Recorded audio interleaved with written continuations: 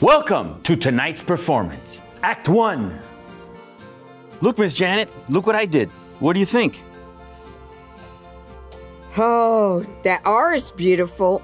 I mean, this is so boring. I taught you better than this. Get that out of my face.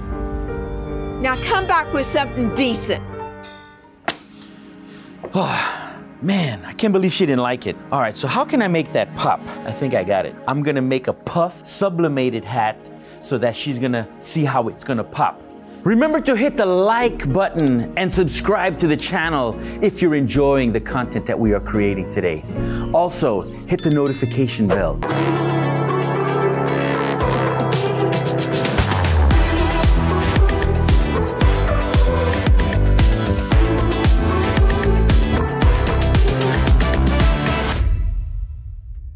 So I'm gonna add some puff to it, and on top of that, I'm gonna put the sublimated brick pattern right on top of it so we still get that Ricoma orange instead of using the orange thread. I think that's gonna be really cool.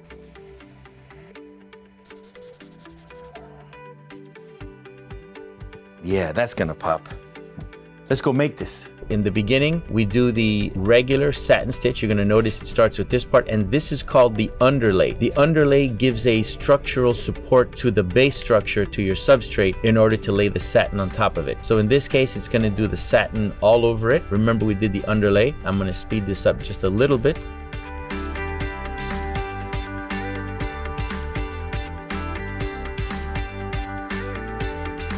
Now that we have our design all done, we're gonna convert this to a puff design. The way we're gonna do this is we're gonna remove the underlay. So I'm just gonna click on every single element and remove the underlay. I could select the whole thing and remove the underlay, but I kind of like to do it one piece at a time to make sure that everything gets removed. So if I click on this part of the design, you'll notice that if we go to the underlay tab, there's a parallel underlay on it. And if you hover over, it's gonna say underlay. There it is. So if I uncheck that and click apply, now the underlay is no longer there. I'm going to hit my second element, remove the underlay and click apply, hit the third, remove the underlay, apply, and finally around the border, we're gonna remove the underlay. The reason we remove the underlay for puff is because the underlay is going to pre-compress the puff and we don't want that. All we want are the threads to go over the puff so that it creates that nice puffy look, right? The 3D look. If you put the underlay, you're just smashing the puff down and it's not gonna work. So now that I have removed it, I want you to see the difference between the first one that we did and the second one. When you do puff embroidery, you want to cap these ends off because if this was a knife, the stitches are gonna cut the foam across this edge. However, since no stitches were made here, it's not gonna cut the puff. So I'm going to unhide my little icons there or my little uh, puff lines. Let me just hide everything so you can see what they look like.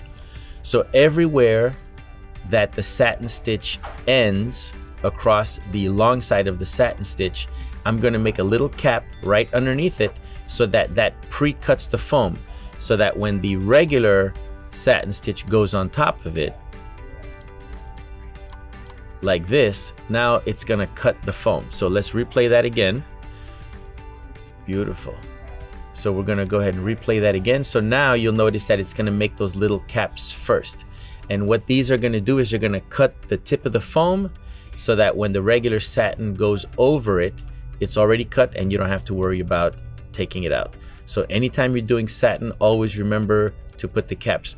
The reason we don't put a cap here is because when this satin stitch is applied, it's automatically going to cut it right there. So it's we don't need to do that. Only on the exposed ends do we need to put the little caps.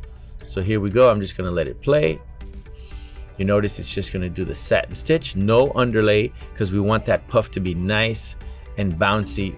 Oh, look at that. You see, that's why we do it individually. It did not remove the underlay from here. I must not have pressed apply. So I'm going to pause that for a second.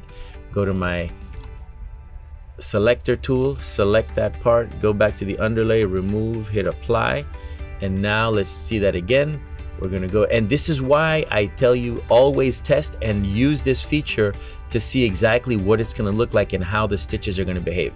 So there we have our caps, we have our satin stitch, and we have our border. Notice no underlay. That is a little tack down stitch to keep the foam in place, but that's all you need. Excellent, guys.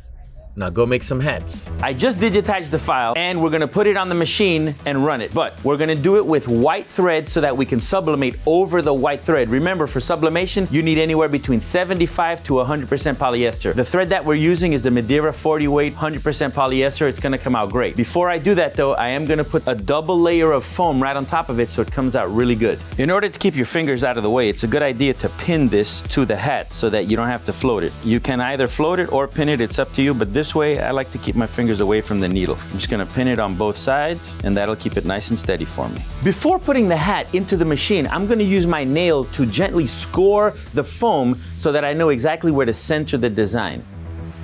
That's it. The new design was sent to the machine through Wi-Fi. Let's load it in. The machine is still in embroidery mode. I'm gonna remove it from embroidery mode, select my new design, pick my folder, and there it is. That's a new design that was just sent to the machine. Once I select it, it is part of the machine now, and we have to pick the colors. We're gonna do this in white so that we can get the sublimation all in there. And there are three steps, so we're gonna make it all white. Once we have all our colors selected, we're gonna save and we are ready to go. Always remember to start with the fresh bobbin. We're gonna start by doing the regular trace area to see where the design is gonna rest. Next, we're gonna do the trace design to make sure we can see exactly where the design is gonna rest. Magnifico! All right, we're all ready to go. But first, remember when you're doing puff embroidery, you need to increase the tension of the top thread significantly in order to prevent bird's nest. If you take a look over here, my white thread, you'll notice that the screw is sticking out a little bit more than the others, which means that the density or the tension has been set just right. The only way you're gonna find out is by testing, testing, testing. This is for you, Miss Janet.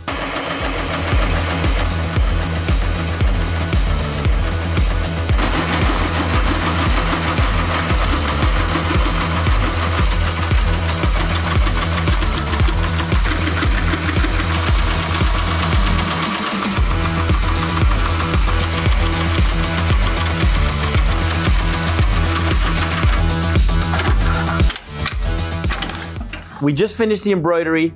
I'm going to peel the first layer of foam away and then sublimate on top of that. And I'm also going to take that opportunity to clean up the puff in any way that I can. I'm going to trim this up a little bit so that I can put the sublimation right on top of it. So while we're waiting for the heat press to get the temperature, I'm going to cut one of these little squares out. I want to make sure that I have my heat resistant tape as well as a piece of Teflon. I want the gradient to go from dark red to light red. By turning this around and making sure that it covers the design, I'll be sure that that happens. With some heat resistant tape, I'm gonna tape it across it to hold it down.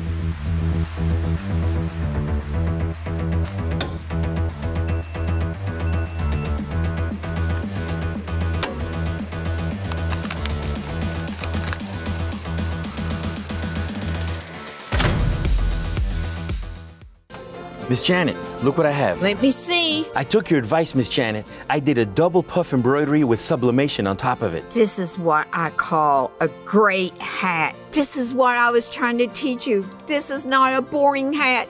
This is fantastic.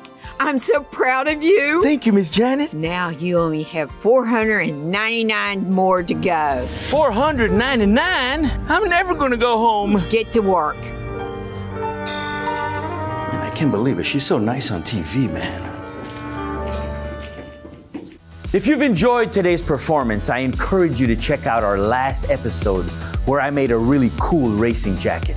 Applique patches were made as well as regular patches which adorned the jacket.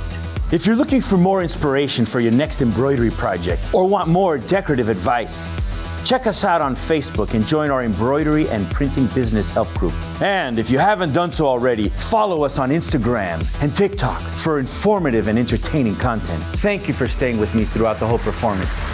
Enjoy your day.